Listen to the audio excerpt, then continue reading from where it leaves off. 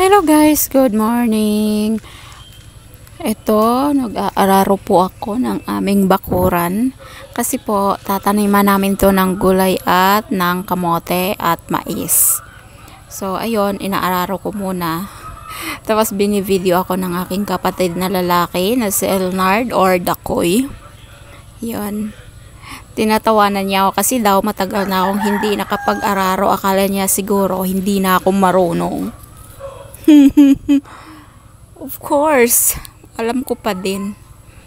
Kahit na matagal na hindi ako nag-araro. Ayun, medyo mabigat na yung katawan pero uh, carry pa naman mag-araro. Hawak ng araro, hawak ng ano, ng uh, kalabaw.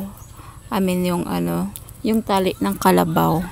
So ayun, talagang sinusundan niya ako kasi parang wala siyang ano, wala siyang tiwala or hindi siya naniniwala na marunong pa ako mag-araro. Ayun, dan andun isa kong kapatid.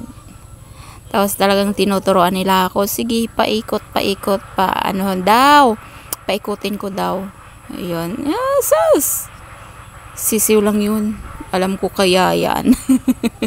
so, after naming araruhin ito, tataniman namin ng, ano, ng kamuting kahoy. I mean, not kamuting kahoy. It's uh, sweet potato, uh, kamote. Yan. Talagang, talagang sinisigawan ako ng tatay ko na kaya mo pa ba? Of course, kaya ko pa. Ayan. So, ayan, patapos na dyan. At ito na nga ang pagtanim namin ng kamote. Yung tatay kong naglalagay ng ng kamote dyan. Tapos, itatanim namin ng kapatid kong si Elnard or si Dakoy. Ayan, ganyan po mag tanim ng kamote. Aga-aga pa niyan. Siguro mga 5.30 kami nagising. Tapos nagtanim kami ng kamote mga 6 o'clock. Uh, yun ka. Kasi ano pa lang ng araw kalalabas pa lang ng araw that time. So actually this is a late upload kasi nga uh, tinamad akong mag ano, mag-edit ng aking mga videos. Ayan, ganyan po magtanim ng kamote.